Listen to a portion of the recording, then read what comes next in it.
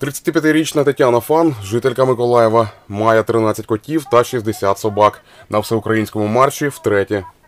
Я хочу, чтобы наша страна, наш город Я хочу, щоб наша країна, наше місто стали більш гуманними, щоб люди добре ставилися до тварин, розуміли, що якісь проблеми, які є, можна вирішувати гуманними методами, не завдаючи шкоди навколишньому середовищу тваринам. Хочеться, щоб завдяки таким акціям, котрі проводяться, привернути увагу, щоб люди стали добрішими. Анастасія Марципан живе у Миколаєві 8 років. Разом з матір'ю та чоловіком дає притулок травмованим котам і собакам. Тварин лікують та залишають жити у своєму будинку. Зараз у Анастасії Марципан 70 котів та 4 собаки. На марші захисту тварин жінка вперше. Наше терпение достигло критической точки.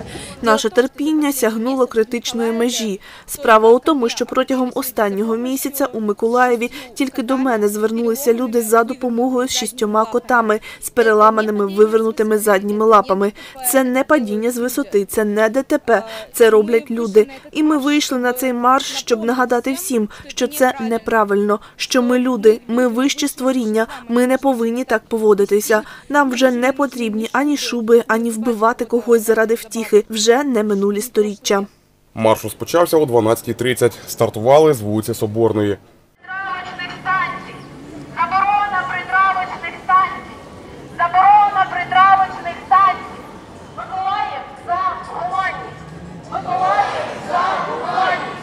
Миколаїв за гуманність. Всеукраїнський марш захисту тварин проводять третій рік поспіль у 24 містах України.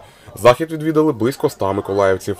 Мета маршу ще раз е, нагадати, що ми маємо відповідати, нести відповідальність за тих, е, хто слабкіший, хто потребує нашої допомоги. Ми за права тварин, ми за те, щоб тварин не експлуатували, ми за те, щоб дельфінарії не використовували дельфінів задля розваг, щоб е, знущання та жорстокість, взагалі як така, зникла і більше не була нормою. Ми за те, щоб тварини мали права.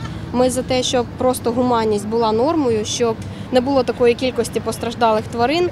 І так як в нашому місті неодноразово ставалися жахливі події, коли і застрелили домашню тваринку і багато чого іншого, ми хотіли б так само долучитися до цього дійства. Завершальний пункт маршу Каштановий сквер.